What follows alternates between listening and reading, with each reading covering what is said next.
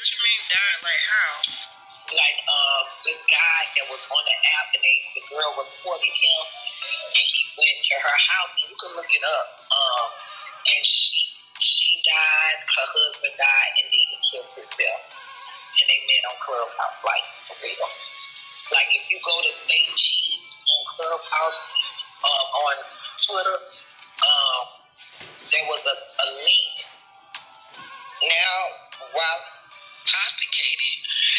was in a studio with over 50 niggas in it.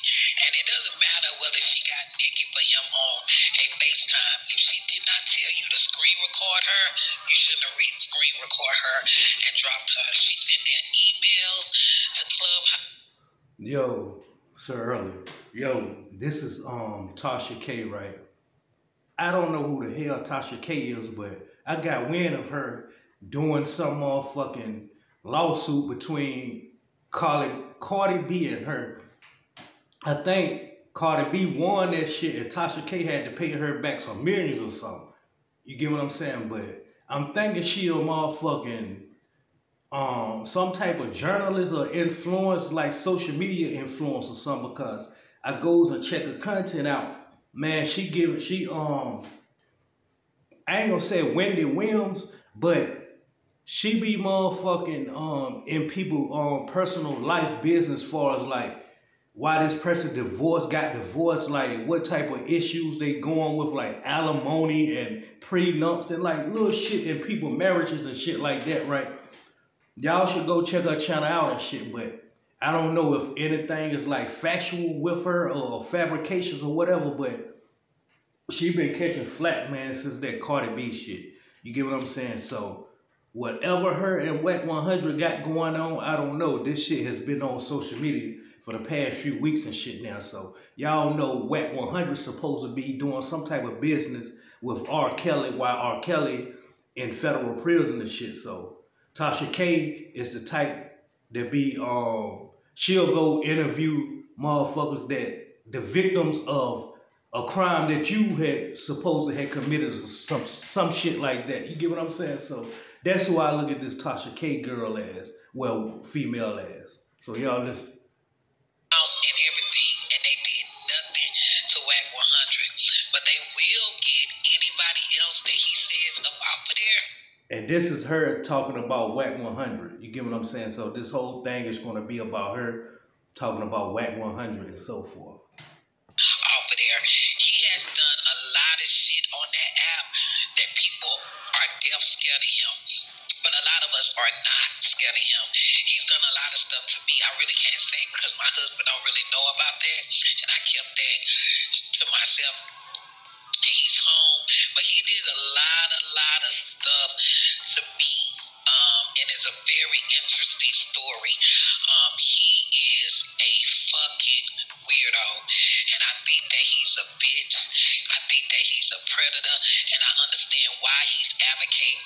Kelly because they have similar or even the same fucking desires. He's a fucking weirdo, and I think that he's been given away with this shit for a long time, and I think that he thinks that he can get away with it. So when you say that he's doxing you, this is what he does on Clubhouse on a daily. Yeah, and I don't be understanding that shit. Like, how grown, like, if you keep doing shit like that, eventually people are gonna look at you and be like, yo, I don't want no business with you. I don't want no parts with you. Motherfucker, you be screen recording motherfucking conversations and shit. You be motherfucking videotaping phone calls and shit like that to have as proof later on down the line if you gotta get busted for something like, hey, here's the audio, here's footage of him, he's capping, he's lying.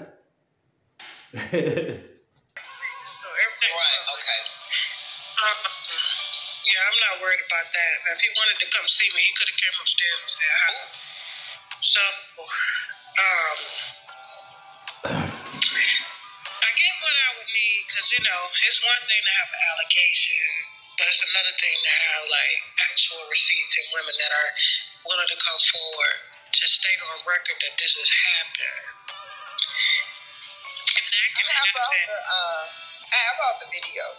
Just like that R. Kelly shit. Now that was that, like if y'all go around and believe in some shit like females joining together now and um going against a dude like, hey, such and such did such and such to me.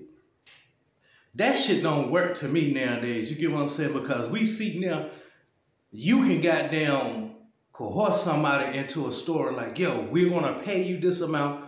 Man, you and several other individuals are gonna tell this story this certain way, fabricate it, to bring this motherfucker down. That's how I look at it. So when when a person be like, yo, we got um we got a list of people that want to come forward and speak on this certain individual, they already know like, yo, it's fabrications involved. Not all the time necessarily, but yo, you don't take shit like you just don't take shit nowadays because what is the arterial motive for that shit? Okay, if that could happen, if you can give me the women with the videos And I have the women too. and the police it's reports and stuff like that, I'll look into what y'all have and then I'll let y'all know, you know, you know what I'll decide to do as far as you know moving forward with whatever plan I need. You know, I don't, you know, this is not like I don't, I don't know the guy. You know, I, I don't. I, I think for you know, for me, or for him, I don't think he knows like me, and this is not for me to like brag or anything. Like I don't, I don't do that. I don't play those games. I'm not like a gangster. I don't pretend to be hard. You know, that's just not my lane. Like. Or anything like that. I don't do beefs for clout. I don't. I don't play those games. Okay, Like, get to get you know, he came at me, you know, really, I don't know, kind of, kind of sideways, and I didn't respond. And then, um, you know, people were sending me videos and stuff, and so I'm like, you know, anybody that comes at me with the R. Kelly stuff, I do the same thing. I did it with Corey Holcomb. I mean, there's a lot of people that, because he's been doing his rounds like R. Kelly and stuff, you know. They kind of treated, you know, Wack the same way or whatever. But like, you know, when I hit his his girlfriend, you know, I was actually talking to his girlfriend, and she was saying like, you know, he was embarrassed over, I guess the video. I guess maybe it didn't get that kind of publicity. I guess before, you know, I guess maybe this story has been out for a while, and it just didn't have the type of publicity that I gave it. Yo, so this is club. That shit on Clubhouse or whatever the case may be. Tasha K. Y'all just type in Wack 100 and Tasha K if y'all want to know more and shit like that. But if y'all know who Tasha K is, then now her and Wack 100 is like going at it. Now, me, I told y'all I never believe in decoys and smoking mirrors. And this shit right here can be honestly something that's going on and shit. But putting those two together, you'll never know what's um what's clout. You get what I'm saying? What's clickbait? You don't know, okay, just make it look like we're going to war, just, you know, keep shit going, buzzing for us. Some people don't be having enough time and energy to entertain shit like that. Then you got some people that do so.